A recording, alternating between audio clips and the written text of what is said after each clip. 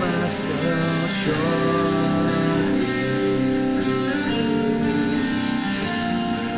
But I won't sell myself.